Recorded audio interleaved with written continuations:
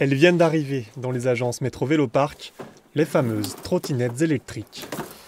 Là pour l'instant on en a 26 arrivés disponibles et on va en avoir 32, voire un petit peu plus, ça va dépendre de la, demande en fait. Hein.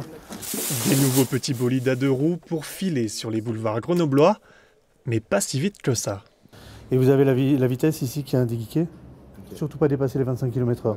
D'accord 2 euros de l'heure, 69 pour une semaine. Grenoble a choisi la location et pas le libre service. On a choisi une offre qui est vraiment très différente de ce qu'on peut voir dans d'autres métropoles, euh, puisqu'on n'est pas en free floating, donc on ramène la trottinette à l'agence pour la charger. Ça ne traîne pas sur le trottoir, il y a pas de, il y a, justement volontairement on n'a pas mis de béquilles pour éviter que ça traîne sur les trottoirs euh, posés au milieu de la, de la circulation.